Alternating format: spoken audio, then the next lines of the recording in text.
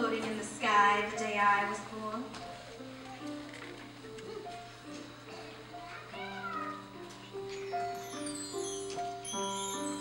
See these beautiful white clouds.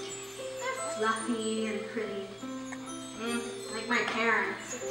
They're called cumulus clouds. They make themselves into fun and pretty shapes like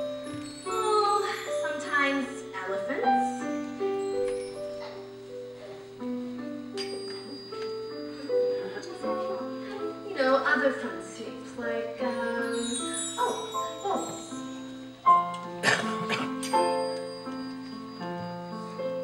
really, just anything that's pretty white and fluffy.